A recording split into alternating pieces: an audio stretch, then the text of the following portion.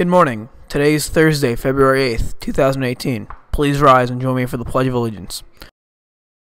I pledge allegiance to the flag of the United States of America and to the republic for which it stands, one nation, under God, indivisible, liberty, and justice for all.